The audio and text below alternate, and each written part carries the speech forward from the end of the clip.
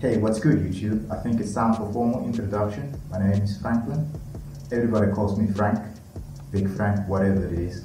Welcome to my channel, Reaper Air Defence. So I started this channel with just basically for South Africans because um, two to three years ago um, the government uh, were planning on placing on bans on the use of firearms for self-defense and competition shooting. So that kind of resonated with me as a, a law-abiding citizen that's always that always looking for means to protect oneself and his fellow South Africans. So the first video I think I shot with Got Yourself a Gun type of theme. And that was just to showcase that, hey, we also in the less lethal community and check all the parts that's used on the HDR50 and the results that we achieved were proudly South African. We made it back home because in all of my ventures of, of building uh, carbine kits, uh, the tax and import costs were so severe that I had to look for alternative means of, of, of how to get my dream into reality.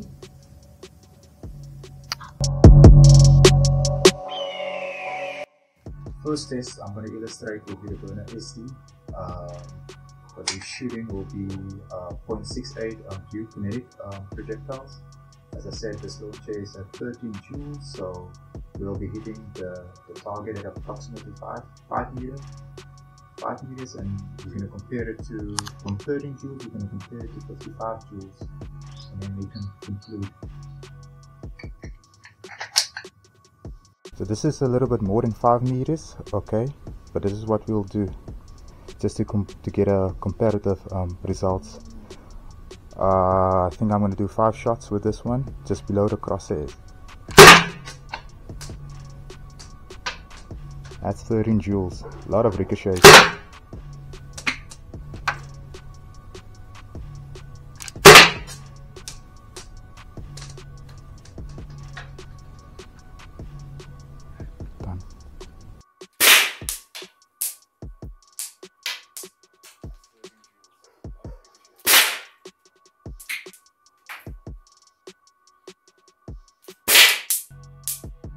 Now for the final test, uh, 50 cal HDP uh, with 25 gram um, CO2 source. That's straight through. A little bit lower, so you can see. Now it's starting to, to drop off. Through.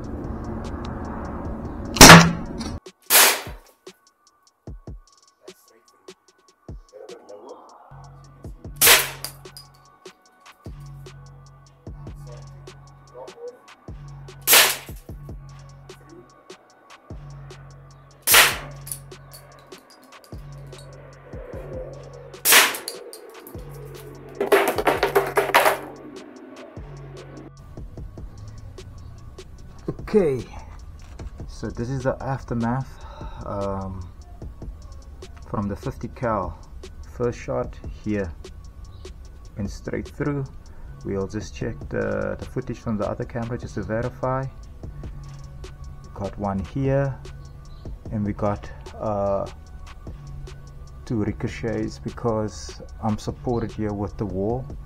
So the wall supporting this board kind of caused those two ricochets but we all know that CO2 tapers down after first hot shot two hot shots and then it kind of tapers down. But as we can verify from the back end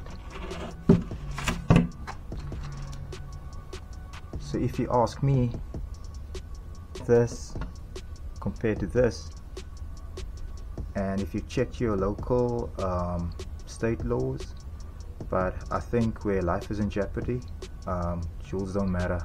The higher the better. That's all I'm gonna say. But thanks for watching my video. Uh, from the introduction to how many joules and yeah, see you on the next one.